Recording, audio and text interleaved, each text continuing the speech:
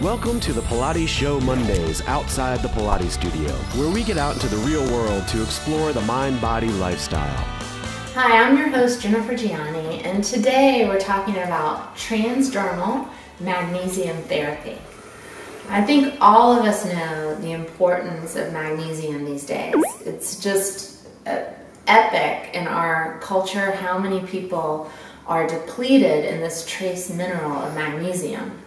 So a number of us, of course, will take supplements internally, taking them orally, which is great, and there is definitely a place for that. But to kind of save um, the, the magnesium having to pass through our gastrointestinal tract and to really get the magnesium, um, absorb the magnesium straight into our cells, this um, transdermal magnesium therapy is something that's so great to do. So I use a magnesium topical spray, um, so a, a magnesium oil, and what I do every night after my shower is that I, I actually put it all over my body. So you just would spray it into your hand, rub your hands, and then just all over your body. And when you first start this, you'll have a number of different places um, on your skin that will sting. That will, the more you consistently do this, that will be reduced greatly. And I even put this oil on my face too, and um, vanity, right? But it minimizes the um, lines and wrinkles and it creates a much uh, smoother look of the, the skin of the face. But I, I, put it everywhere on my feet and my ankles.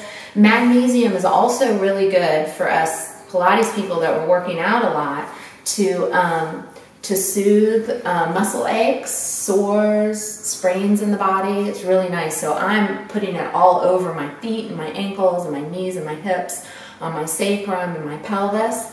The other great thing about magnesium, and there are so many things, right? It helps to balance your hormone levels. But the other great thing that I love being in this menopausal stage is that it really improves your sleep. So that's one of the reasons that I use it right before I, I go to sleep. Um, and then another thing, like I mentioned with the face, it softens your skin. So you can't lose. And so I really recommend you trying some transdermal magnesium therapy.